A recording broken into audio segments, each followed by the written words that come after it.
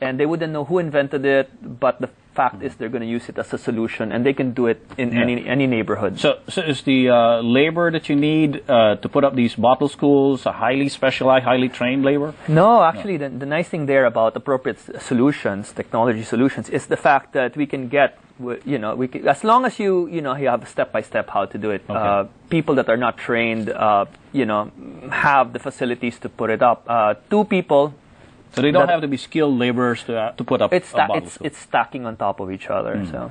so it's a simple enough. Now, this is the, the amazing thing. We put it in a fun run because the thing there is it's not just the school, but you have to put it in something that can be done to fund and get the get the get the hollow block. So, what we're doing is putting it in a system where people can run. Uh, last Sunday, bring two PET bottles, and at the same time, with your running fee, uh, that will be the labor, and at the same time, the the other you know the other materials. And in one run, you get like uh, we got five thousand bottles in one run, plus the money to make it into uh, to to rebuild a whole school.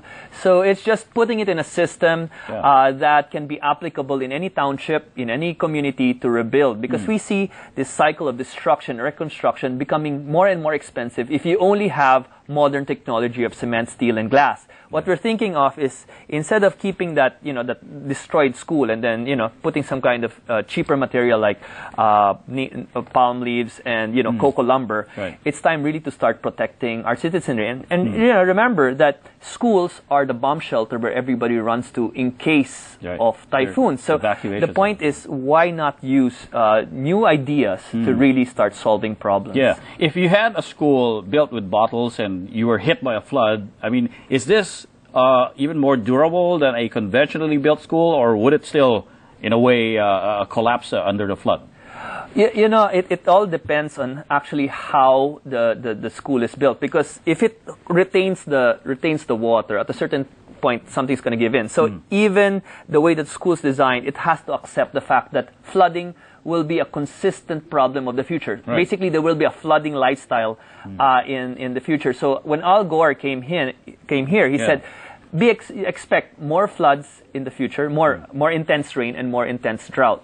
So the bottle school is both a great insulator, but at the same time also when you need to reconstruct, it's a great rebuilder. So you know, one, rebuilding schools one bottle at a time. When you don't have money, you know we've got to figure out what to do in the future. Remember, uh, the Philippines is not an emitter of, of carbon, and so the point is, what's going to happen if this continues to happen and we continue to feel the effects of climate change? We've got to already start planning for the future. And uh, what we're doing is any solution that can begin now, because when it's, you know, five years down the road, when it's too late, we don't want to start figuring out what to do then. Sure. Well, how much would, how many bottles would you typically have to, to have if you were to build maybe uh, a standard sized classroom? Uh, we're hitting about uh, 2,500 bottles. But How big, a- how big an area would that make? Uh, this is about 65 square meters, and we're talking, talking maybe one fifth of the cost. yeah. Yeah. So the, the, the thing there is anybody can now see the bottles that you throw away. Any community, if you look at even one village, there's enough bottles there to build.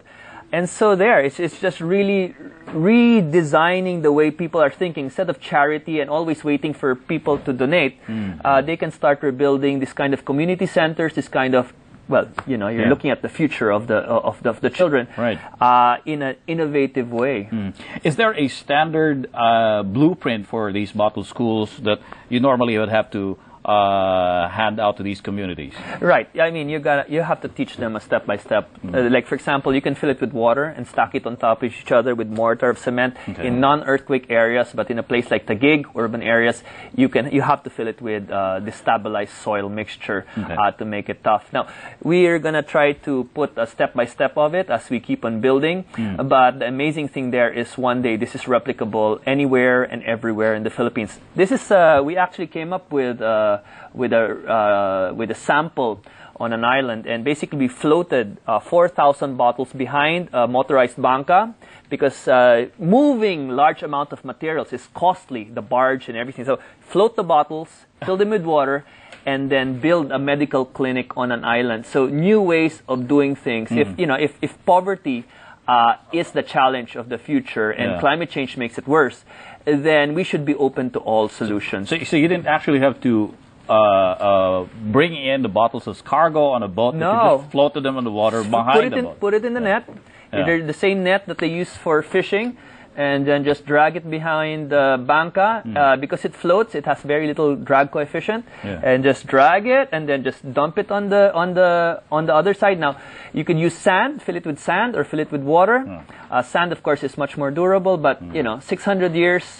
Imagine the number of people that can benefit from that while waiting for a budget to actually land on that island. Sure, sure. Now, what about the uh, um, the cost that would, would go in? I mean, um, I I can imagine it's actually minimizing the cost to uh, rebuild or put up a new school. Right. You have uh, a 65 or 60 square meter uh, um, room or a building. Right, right. Now, how much would it cost to put it up? We're talking maybe uh, hitting about 100,000 uh, pesos. Uh, we can make it cheaper with community participation, but you know, uh, as we're building here in the Philippines, that's we're just realizing uh, what that would take for Yeah. a classroom. But you know, uh, there will be leap and bounds, leaps and bounds here as we try to figure out. Now, the most expensive part is the roof.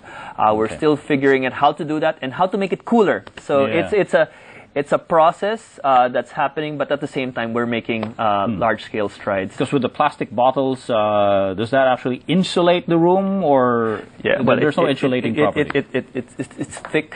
It's you know it, it has it, it's uh, you know it doesn't allow the heat to transfer so easily. Mm-hmm. It's strong, uh, and at the same time you know uh, you're talking about the wind the wind power that's coming in. So uh, you're actually uh, preventing this kind of wind loads from breaking the structure. So it's, it, it, it's pretty tough. You know, Mm. Yeah. we, we actually were uh, filling up uh, uh, the bottles, and a truck actually uh, lost brakes and hit the hit the bottles, and the the bumper basically bent.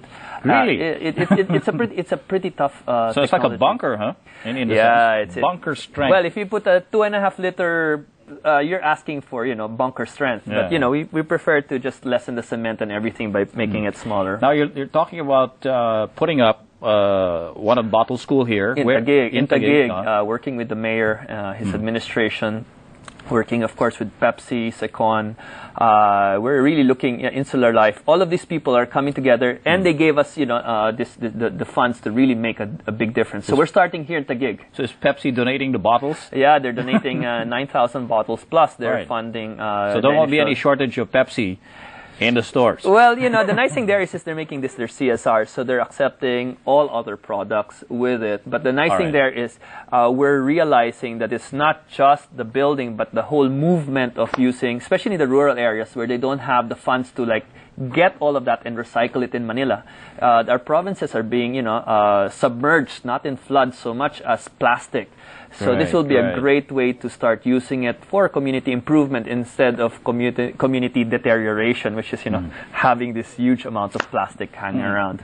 Well, what does the DepEd say about all of this? I mean, DepEd is a partner. Yeah. We've been working with them uh, the past couple of years. We've been building earthen schools with them. We've been building bamboo schools with them. Hmm. Uh, the United Architects of the Philippines have very have been very supportive uh, about this. They've thrown competitions with us, uh, and you're going to see another uh, uh, another architect come in. He's one of the leaders of the, the this kind of uh, competitions that help us design with new technologies or sustainable technologies that is making an impact. And DepEd uh, has been very open. They've given us, uh, you know, following certain steps and guide rules, uh, carte blanche to tr- start experimenting. Because really, if you have 64,000 classrooms that are not working, you Yeah. better figure out what to do. Because the, you know, the problem of lack of education will be a stronger damage.